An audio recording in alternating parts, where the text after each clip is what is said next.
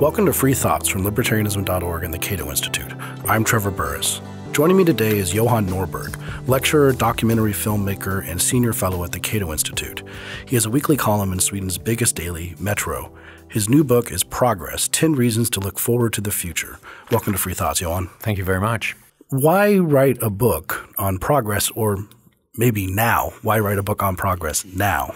It seems like almost no one uh, understands the kind of tremendous progress that has been done around the world in the last few decades. And uh, if you look at the polls, it seems like in Britain, in the United States, some 5 to 6% of people say that the world on the whole is becoming a better place. In the era when we've almost eradicated poverty, almost eradicated hunger, um, seen a dramatic reduction in war and violence around the world, people still think it's a worse place. And I think that, first of all, it's bad because progress is important. We've seen the biggest social and economic progress the world has ever seen. We should know about that in order to make even more of the things that led to that kind of progress. But also because I think that pessimism is a very potent political uh, force. Um, if people think that the world is falling apart, they tend to become more protective, more authoritarian, more statist. Now, interestingly, I think in the last chapter, when you talk about the epilogue, when you talk about how people don't realize this, and you talk about that error rate of five to six percent, this is this is worse than a chimpanzee. I think if a, chim, a, a, random sampling, if they were randomly choosing answers, you'd get a higher number. So this means that they have a systematic bias in a different direction. Why do you think that is the case? Right. I think that people are informed by false or at least outdated um, data. Um, and, and where do they get that? I think they get that. It's not that they read the wrong books with the wrong data. Uh, it's that they don't pay attention to data at all. They pay attention to news. They pay attention to breaking news and to what they see on Twitter and on Facebook. And uh, bad news sells. That's the classic um, that's the first thing you learn in, in journalism. If it uh, bleeds, uh, it leads. Definitely, because we want to hear about the most shocking, dramatic story uh, that has happened in the world uh, while we were asleep, um, which is it's a good thing. We need knowledge about that, but it tends to distort our perspective because there will always be a famine somewhere. There will always be a flood somewhere. And then in a glo global uh, news uh, world, that'll always top the news cycle everywhere, and we'll get the impression that this is becoming more um, uh, dangerous and imperiled. yes, that basically we'll see uh, more regular occurrences of these things. Whereas the the truth is that we see less. We have less war. We have uh, reduced the risk of dying in a natural disaster by 99%. But that's a background story. Then you need history. Then you need data and statistic to get that. You don't get that from the news. And backing that up too is is you you point out that people's beliefs about the quality of their localities, like have, do you feel safer in your own neighborhood? Uh, they're they think they, they're pretty accurate compared. They they do feel safer, but they think the world at large with this global news cycle is what's actually dangerous. And of course, back in for most of human history, we didn't have CNN and other types of things, so we get that. But let's actually get to the numbers of of how how good it is. And I've I've read a fair amount of books like yours. Well, there's no actual book like yours. Your book is excellent and it's, it's so succinct and very well written. Did you write it in Swedish, by the way, or did you write it in English? No, I wrote it in English. Excellent. I See, even better. Second language. So, but it's very it's very succinct. But you have books like The Rational Optimist by Matt Ridley, who's who's been on the show before.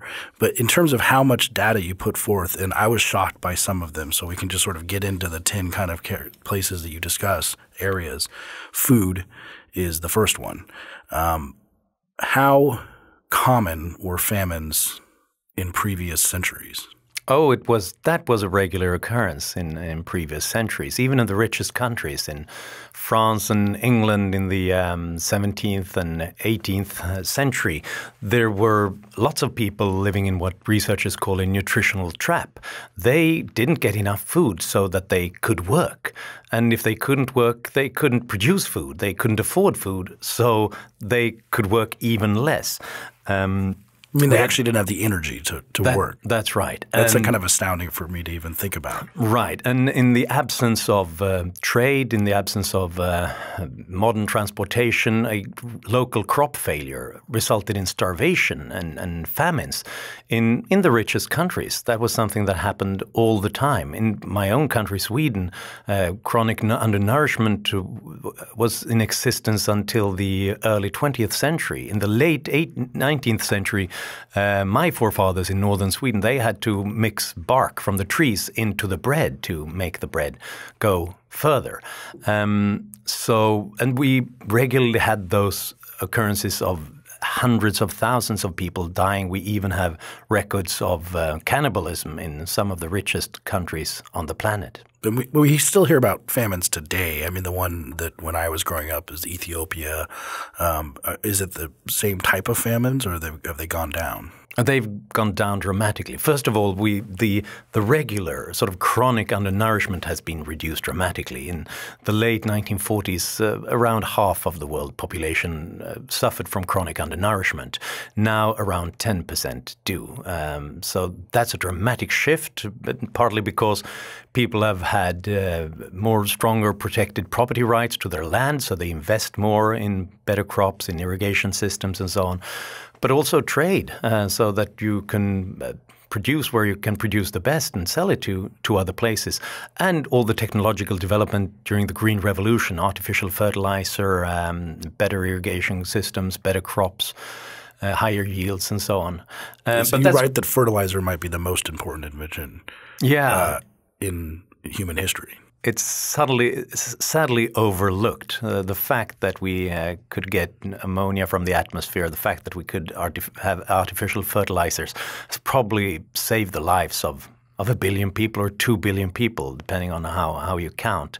Um, and no one really thinks about it uh, unless they think about the problems that comes with it as well, um, because always there's always some pushback. But that's a chronic undernourishment. But we also have the famine disasters where it suddenly strikes over uh, just a few months, and uh, and it used to be with on much smaller populations uh, around the world. We had uh, decades uh, regularly uh, in a decade, uh, some 5, 10, 15 million people dying in famines. Now, in the last 10 years, we've seen uh, half a million people doing that. Far too many, um, especially in, in sub Saharan Africa. Far too many, but fewer than ever, despite a bigger population than ever. And more of the famines that have been in the 20th century have been caused by governments than than, than they. I mean, governments were problematic before because you had mercantilist kind of philosophies. So if you weren't trading your food, then yes, a, a single blight on your crops or just a cold summer could just cause a famine, and then you weren't trading. But now governments have caused a lot of famines. correct? Right. Now it almost takes a, a vicious uh, despotic regime that almost wants to punish its people to create famines like that. Uh, it could be war torn uh, countries um, where no one is safe in producing anything, or countries like North Korea where they've sort of consciously destroyed uh, any kind of ability to produce and trade. Who was Norman Borlaug? He was um, perhaps uh, the, the person who saved most lives uh, in in the world by being the man behind the green revolution around the world, because he had that vision, that idea that. Uh, you should be able to use the mankind's knowledge to uh, make the yields go further. So he started to experiment with uh, better crops in uh, Mexico and producing dramatic results. And then he thought that we have to try to make this happen on a global scale. And uh, he did so in India and in Pakistan in the um, 1970s, in the 1960s and 70s, this, this really took off. And at that time, people said that overpopulation was the big problem, that we'll never be able to create enough food for these people. We'll see massive famines in, in for example, the subcontinent, in, in India and Pakistan. Um, and they didn't believe that this was the way to go forth. Why should we invest money in in strange new innovations when we have too little to uh, sort of buy the, the crops that we need today? But he fought for this in a dramatic fashion, and uh, he went there um, and while war broke out between India and Pakistan, sometimes uh, producing and, and uh, working within uh, uh, and he could hear the gunshots and he kept kept on working. And the result was tremendous. In the first season they produced more than they could store. Uh, and then even further in the, the, years afterwards. So he saved lives of hundreds of millions of people in those places. And then he wanted to do the same thing in, in sub Saharan Africa. But a friend of him told him that think about the amazing accomplishments that you've done now because you'll never be able to do anything like this again because this was such a disaster uh, that suddenly you had a free range. You could you could do it. Now um, governments they're going to block you. Special interests are going to block you. He was very much interested in using genetically modified organisms, and the whole environmental movement and the United Nations system were opposed to that. So he couldn't do the same thing in Africa. Before we leave food, there is one story too that I had not heard in your book about a village in China. Uh, I think it's pronounced Xiaogang, yeah. that, would that be correct? Uh, there's a story about how during the famines in China, and China is particular, where a lot of the people we brought out of poverty were previously. I mean, I, I we used to tell children they're starving children in China, uh, eat eat your vegetables because they're starving children in China. And I don't think children get told that anymore. There's a, we moved that to a different place. But in this one story in Xiaogang village, uh, we had a little property rights revolution. Yeah, there were some 20 families who um, realized that for all their hard work, they didn't get much. They couldn't put food on the table for their children. So they th- thought about what could we do instead. So they had a secret town meeting where they decided to secretly uh, privatize the land to so that every family had its own plot and they could produce anything they'd like, they could work as much as they like, and they would keep the rewards rather than working in the sort of communes, the collectives um, that were controlled by the government.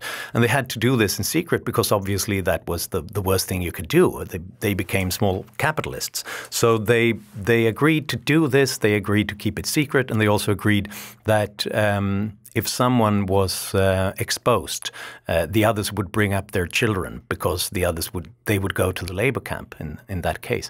What happened was a dramatic surge in productivity because people now worked much harder when they could reap the rewards. They began to invest in that land. So suddenly there was an explosion of, of productivity. And it was difficult to keep it secret. The other uh, villages began to notice that something had happened there. And as some farmer put it, um, this is like the chicken pest. If one village has it, everybody has it in, in just a few months. Uh, so this secret privatization took off everywhere in the late 1970s. And then, of course, the Communist Party got noticed and understood something is wrong here. They produce much too much food.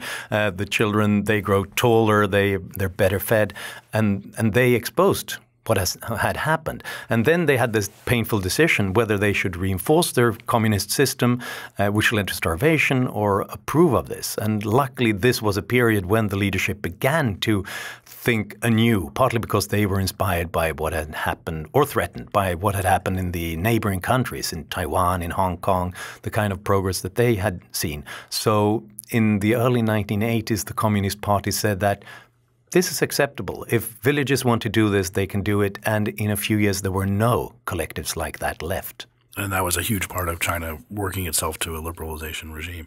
Sanitation, which um, is the, the, probably the most disgusting chapter yeah. of the book. Yeah, I'm, I'm sorry. Uh, no, I apologize. Okay.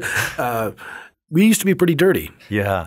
This is the problem. This is one of the most lethal things in world history. The fact that we didn't keep our um, uh, waste faces and, and, and, all those disgusting things separate from uh, the, water sources that we used for uh, cooking and for drinking. So that killed off a lot of people. And uh, this is something that uh, every affected everybody. Um, the River Thames was disgusting um, in and, Britain. And at one point, dead of life too. It had no life in it. Right. It was declared biologically dead as late as the 1950s. Uh, but in the um, the mid 19th century, uh, it was such a disgusting pool of, of that stank that uh, the parliament had to be evacuated because they, they couldn't breathe there. And um, uh, Queen Victoria's um, husband, Albert, died from typhoid fever, uh, partly because of these these things. So it affected everybody. The, the, Royal Castle of Versailles in Paris, which was the, sort of the prime of wealth in uh, Europe in the 18th century, it was they had spent so much resources on everything, decoration, material, clothes, but they didn't have a single flushing toilet. So visitors to the castle pointed out that Look, you can you notice where Versailles is because uh, the, because of the stench. Um, because the, the, visitors noticed that there was excrement in the in the wall uh, in the walls and in the um, stairs and. Uh, Why are the everywhere. hedges so high? I didn't even know that the hedges are high because in Versailles. Yeah, exactly, because you have had to relieve yourself behind something. so, so this really affected everybody, and people died early uh, because of this. Uh, we had a revolution in the uh, mid and late 19th century where science began to understand that microorganisms could kill, even though you couldn't see it. So they began to separate those sources, and we began to filter and uh, uh, put various chemicals into the water to make sure that we don't die from water. So that, uh, uh well, one side effect was that we could begin to drink water rather than beer and wine in the morning. and the kids don't have to be drunk uh, uh, early in the morning. but that has saved li more lives than, than any other sort of health um, innovation. How much better is it now than, say, even the 50s? In, around the world for people having access to clean water? They're basically two different things. Is it clean water, improved water sources? Uh, do they have sanitation? We've made the most progress when it comes to water uh, just sort of getting that from a better place or making sure that we treat the water in various ways. And since 1980, we've um, increased the number of people who have access to clean water by some 285,000 people every day. So, every day. every day. What does that equate to? Several billion. Yeah, so it's 2.5 or something like that. Uh, and that's everywhere where we've seen a rise in GDP per capita. Everywhere where people get richer, they start doing this because people are smart. And that's one of the, the lessons that I learned from this. It's not that they're, they're stupid, they make the wrong decisions, they had to be sort of told what to do or controlled top down. The moment they have a chance, the moment they have the resources at their disposal, the moment they get the technology, they make the right decision because they don't want to see their children die and this is with with food and sanitation, but then uh, the next chapter is life expectancy, uh, which is a combination of a bunch of things. I think one thing that maybe people understand that there's been progress in is in medical science. I mean, we're not using leeches or amputations anymore, but maybe they don't understand how how much it has changed. Right.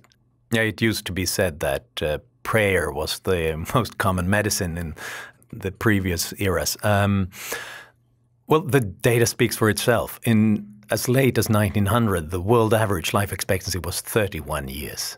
31 years. Is that is that a product of the high infant mortality? It's mostly infant and child mortality because the moment you take care of that, you can lead a very long life. But it's also something that has been, uh, we've dealt with a lot of the things that killed us in middle age and, and later stages, even though that doesn't improve life expectancy as much because it only gives you another 10, 20 years. Um, so mostly it's uh, infant and child mortality. In some places, uh, sort of every second child uh, died before five, and uh, now life expectancy is uh, 71 years around the world. So it's such a tremendous uh, increase. And so if you're older than 31 years, you should really sort of think about uh, how lucky you should be to be living in this era. Um, as late as 1800, not a single country on the planet, not Britain, not France, not the US had life expectancy longer than 40 years. Now, not a single country has life expectancy shorter than 40 years. And it tells you that we have done something right when it comes to health, nutrition, to lifestyle, to the economy. We've also done some amazing things with eradicating things like smallpox, which has to be an unbelievable one of the unbelievable achievements of the human race. But there are also diseases that we might eradicate pretty quickly. You write about. Yeah. Like like malaria, for example. How how much better has that gotten? Right. It's that is amazing because uh, there are so many diseases that uh, used to. I mean, whoever you were, you had people in your family that died from it. Now we never think of it anymore. Measles and smallpox and cholera and, and the plague and um, awful things like that. Now we pay all the attention to things like malaria because that's the thing that kills a lot of people today. Well, we've seen tremendous improvements in just the last 15 years, um, partly because of the uh, the Gates Foundation, how they've been instrumental in uh, sending, um, making sure that bed nets were used, making sure that more drugs were uh, being used here, and it has saved. Uh, probably in these last 10 years, some 5 million um, kids from dying from malaria. Moving on to poverty, which of course all these things just absolute poverty rates because food and sanitation, lifestyle, they they come in. But then poverty rates themselves as sort of an overarching mechanism, uh, have dramatically improved. The numbers are quite astounding. But I, but first, I would like to ask the question, which is sort of the part of the lead quote you have in that chapter. Um, why are nations poor? Right? Or I mean, why are there still poor nations? Or why are any? Why is any nation poor? Yeah, it's it's the and that's really the wrong question. Um, why are some countries uh, poor? Because every country was poor. Um, the the richest countries on the planet 200 years ago, Great Britain, uh, was poorer than the poorest uh, sub-Saharan African countries today, and all their living standards were were poorer. So the question is, why did some countries get rich? And uh, we we know this because it happened in every country that began to give their people uh, more freedom to uh, explore new ideas, to experiment with new solutions in, in business, in technology, and uh, to also exchange this uh, with more trade domestically, but also internationally. Every country on the planet that did that has eradicated poverty, basically, at least in the, the extreme poverty that we, we talk about in, in this context. Um, in the early 19th century, uh, some 90% of uh, people around the world lived in extreme poverty, what we now think about as being able to consume less than 1.9 or to $2 a day, adjusted for local purchasing power and inflation, but around 90%. Now it's 9%. So we've really gone a long, long way over that period. And this has happened in all those countries that began to um, integrate themselves into the global economy uh, as well. We've seen this tremendous progress in China and in India now in the recent decades after they did the same thing. Now, how much of that, how much progress of that has occurred in the lifetimes of even our listeners? Yeah, I think that the last 25 years have been spectacular. It's been 25 years while we've constantly been complaining about the world. Uh, we've had leftist authors like uh, Naomi Klein pointing out that since 1990, free market capitalism has ravaged the world and taken control everywhere. Um, and over those 25 years, we've reduced extreme poverty from 37% to less than 10% in those 25 years. So, for the first time in world history, it also means that the absolute number of extremely poor has been reduced. Um, because previously, an increase in world population meant that the uh, number of poor increased, even though the proportion might not have. Um, so, we've increased population by some 2 billion over this period, and yet the number of people in extreme poverty has been reduced by 1.25 billion in just 25 years. It's it's those are shocking numbers. It means that every minute we talk, another 100 million people rise out of poverty. And in places like India, which relaxed its incredibly oppressive trade restrictions and sort of socialist kind of government uh, to help create this, but it, but it also had a secondary effect, which you write about, which I think is an important thing to point out for the effects of wealth and capitalism markets, it had a strong effect on the caste system and how people were treating each other in India. How, how did that work out? Yeah, uh, I agree. That is incredibly important because uh, when the economy is controlled, you control people's lives, and then you also end up with discrimination and other things. Opening up markets, creating competition means that you look for talents wherever it is. And if you're good, if you're talented, you can compete with the others.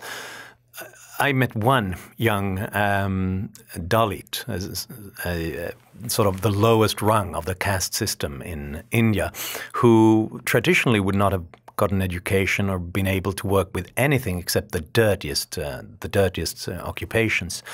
Now, what happened after India began to open up in 1991 was that people began to look for talent everywhere. He moved into town and he actually he overheard a um, contractor who built trenches for the new telecom companies. Um, they had to create more cables and, and, stuff. And he complained that they didn't have enough workers. So he just told him, well, look, I can get you 25 able workers tonight because he had a lot of friends in the old town, and traditionally they wouldn't have been able to work with anything like that. But now, okay, let's do it. He went there, they trusted him, and they worked hard, they got paid, and he made more money in one day than he did throughout his life. So he started a new company where he um, uh, made sure that people got the right human resources, and then he moved into construction and became a rich man. And now he's recently moved into a neighborhood that was uh, traditionally reserved for the, the highest castes.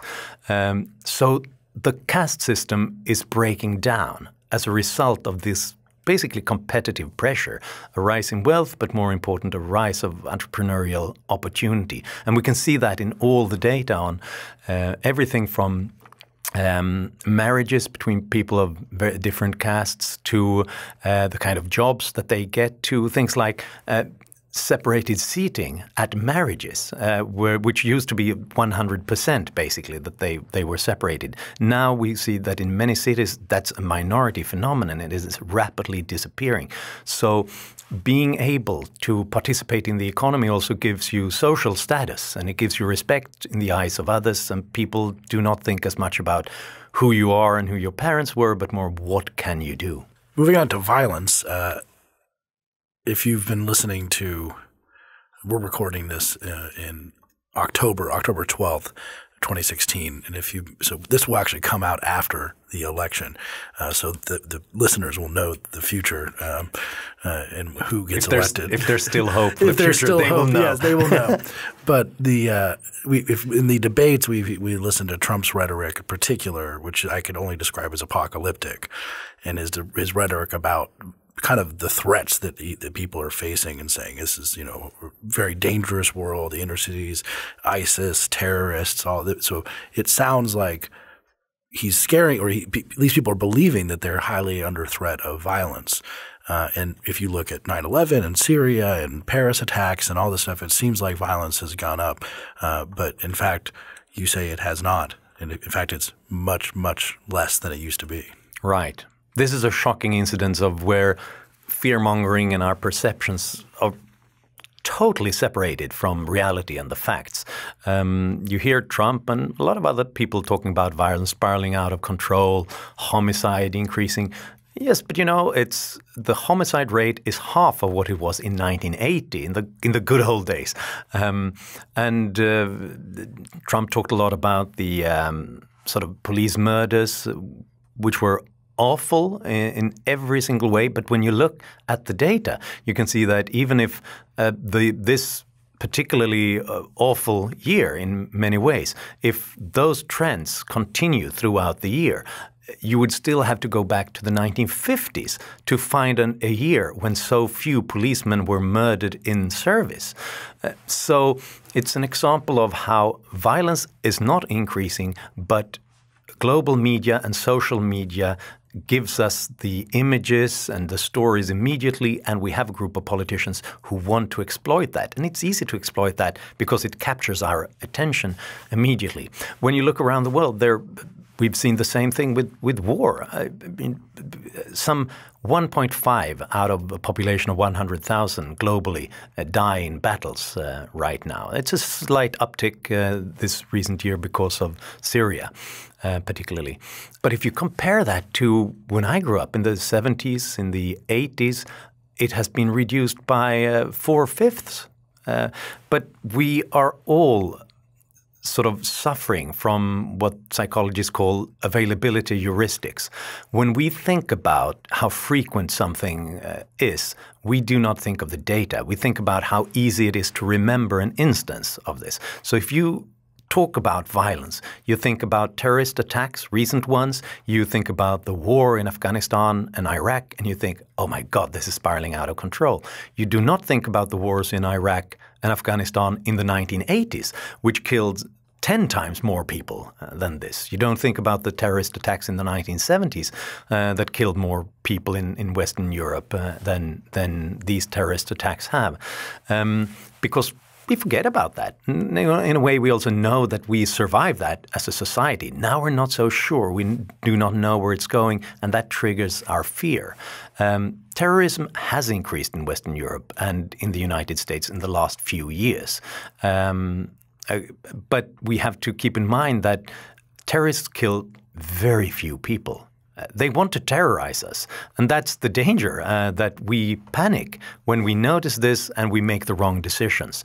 Uh, but they kill the, their risk to individual life is incredibly small. In Western Europe, the risk that you will be killed by a normal murderer, so to speak, is 30 times bigger than being killed by a terrorist. And that's a homicide rate that's being cut in half. And I'm sure that the American numbers are even more dramatic. So basically, the risk that you'll die when you fall off the stairs is bigger than being killed by a terrorist. Um, and that puts it into perspective, and we need that kind of perspective in order not to panic.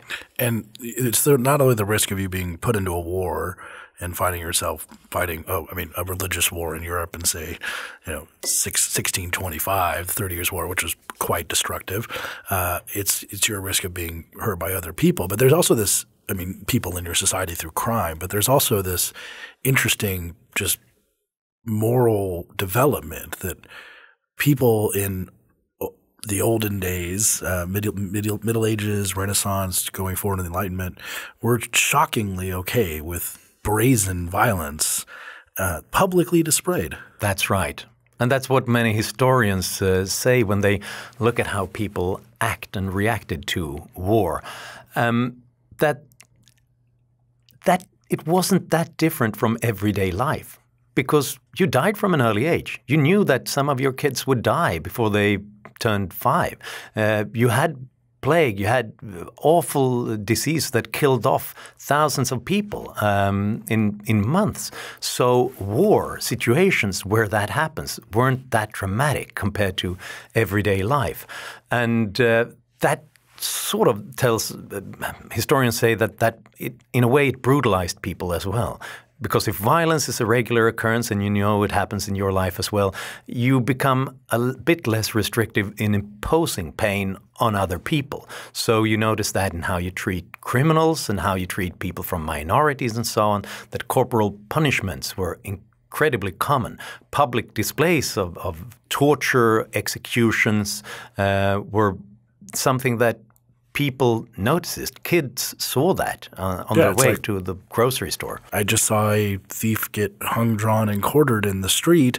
So we might as well invade Belgium because you know it, that's just the way life is. It, it is pretty shocking. Even things like bear baiting, which you know is have tying up bears and having dogs attack them, is shockingly violent to us now because we now care more about animals, which all seems to be a product of wealth like many things in in the general thrust of this, which includes the next chapter, which is the environment.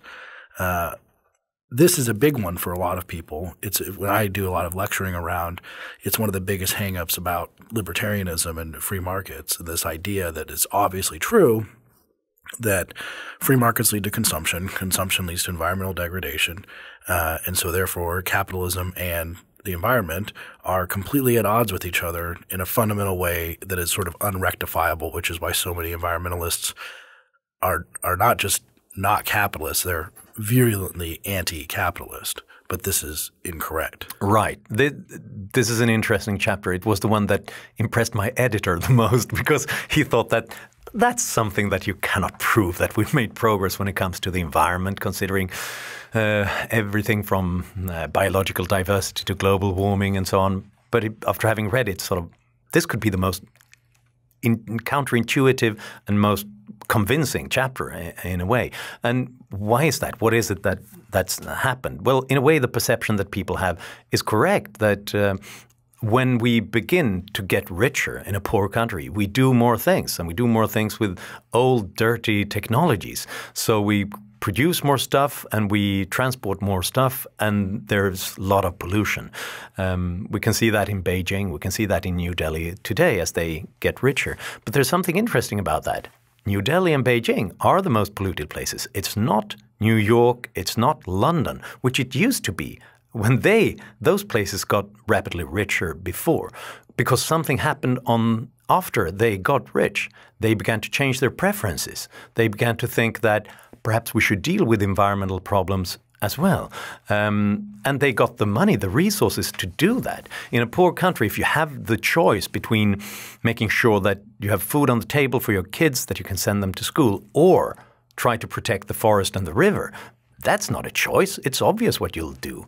Um, but after a certain level, you begin to think of that and you get the uh, resources to do it, you get the technology to do this in, in a better way. So many researchers talk about a, a, an environmental Kuznets curve, an inverted U, uh, letter, the letter U, um, where pollution and environmental degradation increases rapidly as countries get richer. But after a certain point, that begins to change. You begin to deal with waste problems, you reduce pollution. Um, in Britain, in the US, in Europe, we've reduced the six leading pollutants, the ones that uh, poisoned our lungs and our forests and so on, by 60 to 70 percent in the last uh, four decades.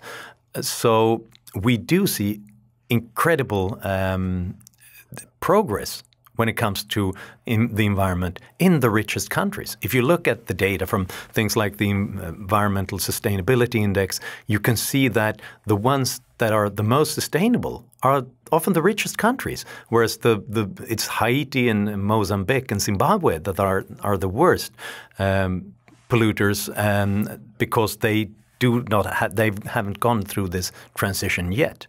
A lot of people would say that, well, yeah, this is stupid libertarians. This is government that did this. They passed laws that said that cars had to have catalytic converters and put in emission standards and a bunch of other things, coal scrubbing and things like this. Um, that seems to be part of it, but that's not the whole story. It's not the whole story. And often when you look at the data, uh, that began to change before the government began to step in, uh, partly because of better technologies uh, that we could produce more things with less resources and less uh, uh pollution, and um, the more modern sectors of the economy, they, they, had a rapid turnover of technology and equipment, so that they can, could do that uh, faster. But it's also the case that pollution in itself is uh, kind of an intrusion in somebody else's property rights, someone else's uh, health. I think it was Karl Marx who pointed out that uh, this is actually contrary to capitalism if you ruin somebody else's property, somebody else's land, and, and so on. And uh, in a perfect market, you'd be able to go to the court and get compensation. Um, now, in a in a I think that would be a preferable uh, situation, but you can imitate that. And that's often what the government has done. Um, they try to impose fines then on polluters. They try to implement various systems to make sure that we reduce this. It's not perfect. Uh, there are some real problems uh, when they do this, but I think that something similar would have happened on the market because preferences change. And as you see the problems, you begin to implement property rights that really weren't there before. So it takes, voters have to start demanding environmental goods as some things that they like, which is a product of wealth to begin with. As you said, if the first question is, uh, are, where are we going to eat tomorrow? But after you get through that question, you can start saying, well, I want to eat in a clean air environment, and that changes. Of course, so wealth is a product of that. But that brings up the question of global warming, which is yeah. a concern of many, many people. Um, but you write that it may not be just as simple as choosing the eradication of emissions or things like this, it may actually be about wealth creation too to help solve this problem. Yeah. Well, I happen to think that global warming goes on and that human beings is partly responsible through greenhouse gases. I'm not an expert there, but I listen to the experts and that's what they say. I agree. Uh, so, so that's why I have to Um, so so does so does Pat Michaels, who's our Yeah. I mean, it is a man-made thing, but but now the question is, what do we do about it? Exactly.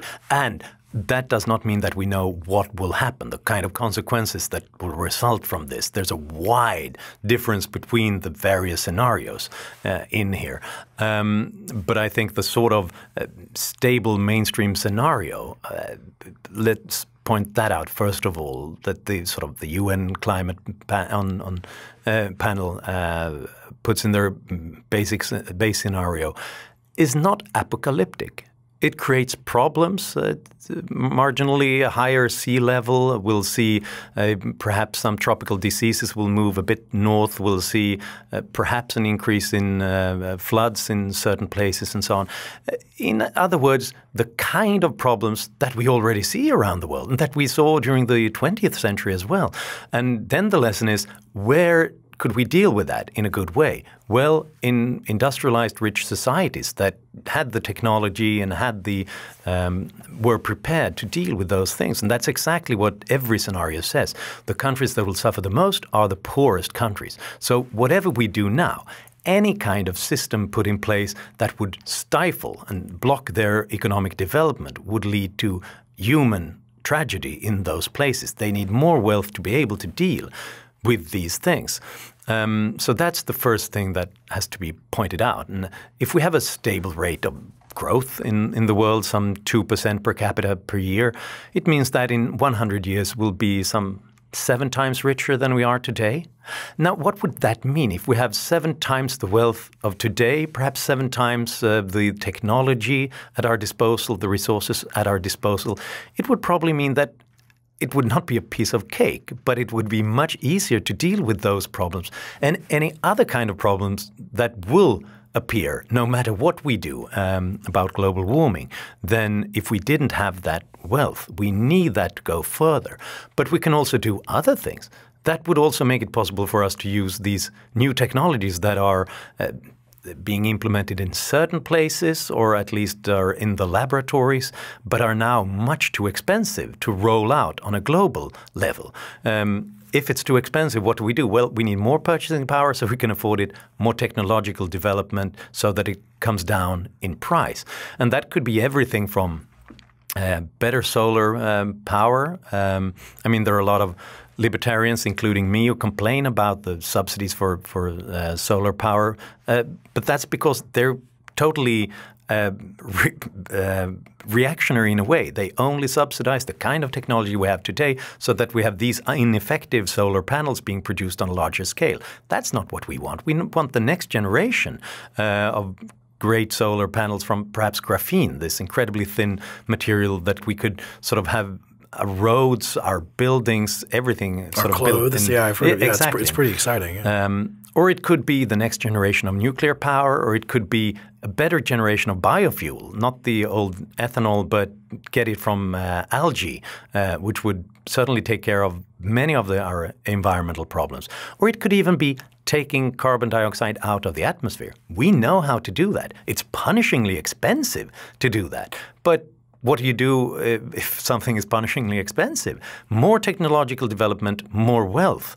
Uh, so, in other words, it's the opposite of some of what the sort of reactionary Greens say that we have to dismantle industrial society. No, we need more progress to deal with this. And we need more people coming out of poverty, going to school, becoming smarter so they can start thinking about how to solve these problems and use what Julian Simon called the ultimate resource, which is human ingenuity. That you, there's things are not resources until we figure out how to turn them into resources. And one of the things you write about is literacy is just skyrocketed around the world. And so some of these people can start studying how to make the next nuclear reactor. How, how, how much has literacy changed? Yeah. Wow.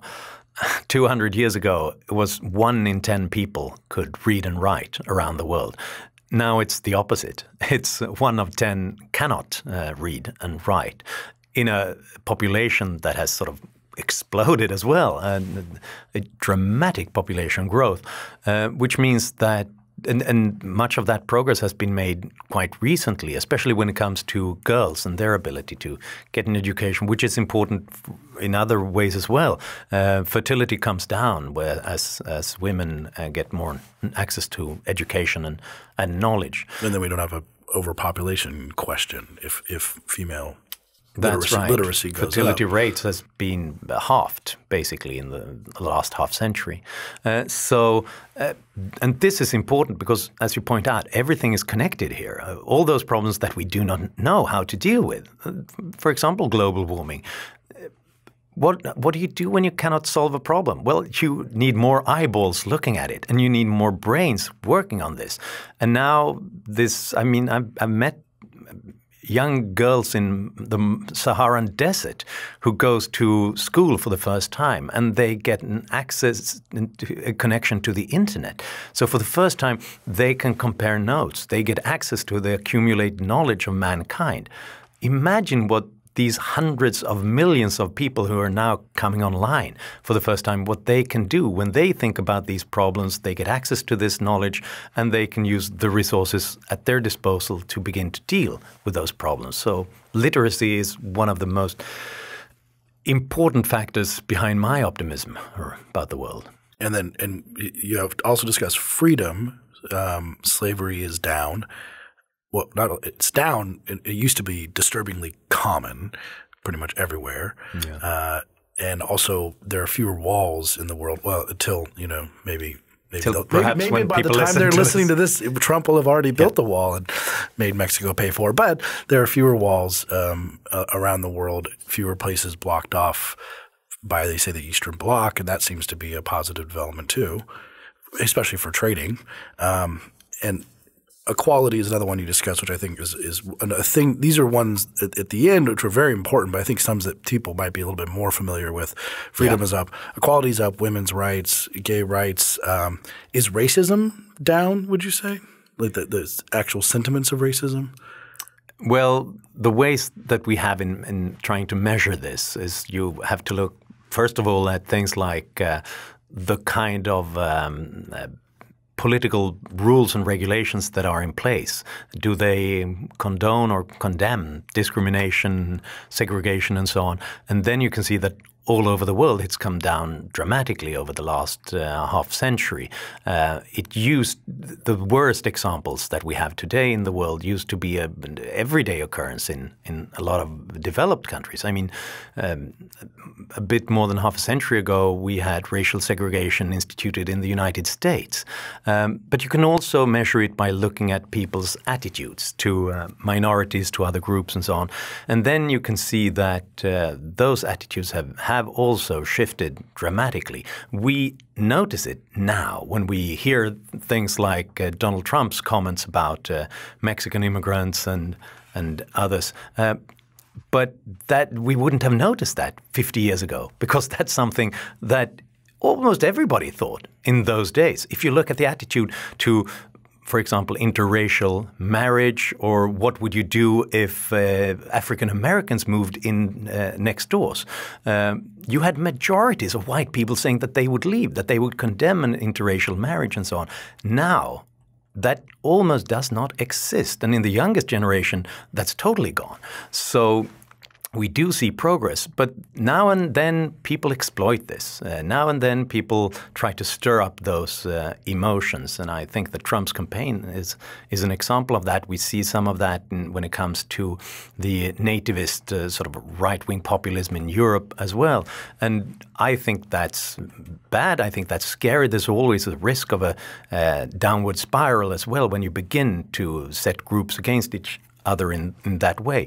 But in fact, if you listen to what they say and what they are very clear on that they are not saying, because they're also very sort of sensitive in saying, no, I, I absolutely do not think that uh, I'm not a racist in that sense. I'm not a racist, it, but one of them. at least that's something entirely different uh, from what you heard half a century ago and what's acceptable to the average Joe in the street.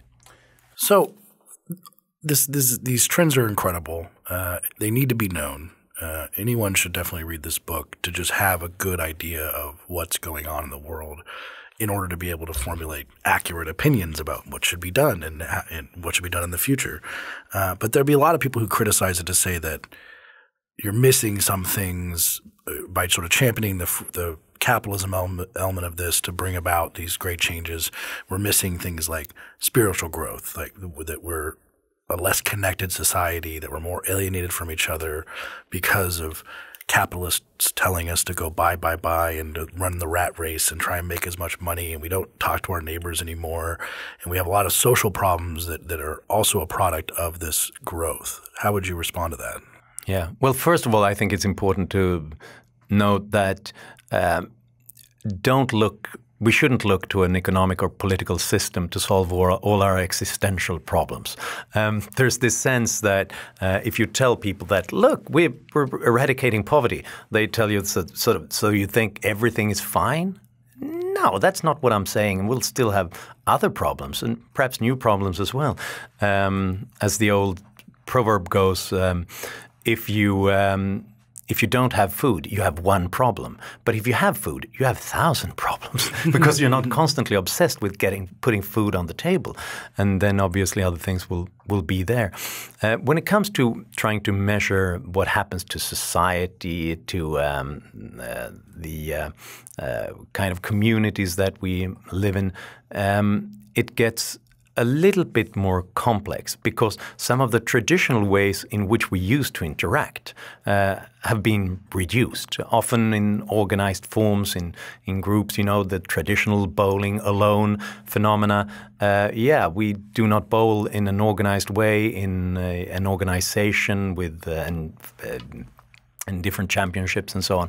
But people do bowl with their friends. They go there and they interact socially and they do other things socially, um, but not in those organizations. But we also build new communities in in those uh, regards. I'm a bit uh, sensitive to uh, attempts to say that we, we're getting sort of alienated because everything is about the economy, everything is about uh, creating wealth.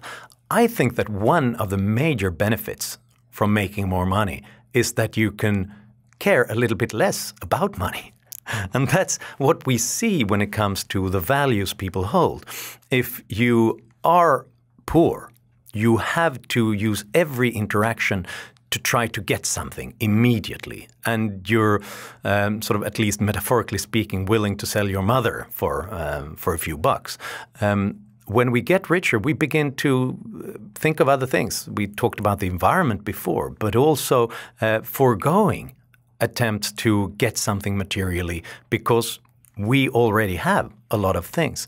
Um, so there have been many interesting experiments with various groups around the world and to see how their values change if they have a lot of exposure to exchange, to trade, and so on.